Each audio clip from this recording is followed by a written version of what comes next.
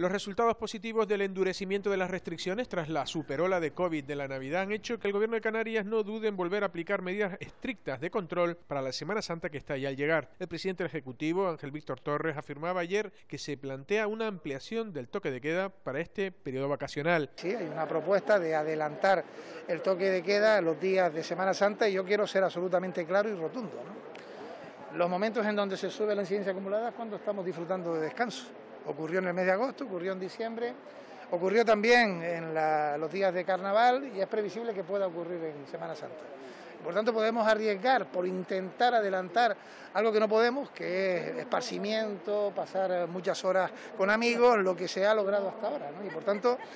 nosotros apostaremos por restricciones duras para esta Semana Santa, creo que debe entenderse, lo que queremos es recuperar cuanto antes, y cuanto antes significa máxima vacunación, llegar al verano bien, llegar a la temporada alta bien y tener mayor seguridad en la salud de las personas eh, con procedimientos que no podemos poner en riesgo porque queramos adelantar noches de ocio, de divertimento y demás. Por otro lado, destacar que Lanzarote llegó durante el fin de semana a bajar la simbólica cifra de 100 contagios activos, aunque sí es cierto que los nuevos casos confirmados ayer domingo y las cuatro altas médicas situó el número de casos activos en 101, cinco más que el día anterior. La incidencia acumulada en este momento es de 30 casos a los 7 días y de 85 a los 14. Además, la semana comenzaba en Lanzarote con 16 pacientes ingresados por COVID, de los que 12 continúan estando en la Precisamente este dato sigue creando polémica, pues un amplio sector de la sociedad lanzaroteña considera muy elevada la fase 3 en la que estamos, al baremar la situación de estrés de nuestra UCI, en alusión que con tan pocas camas parece que la presión hospitalaria es muy alta.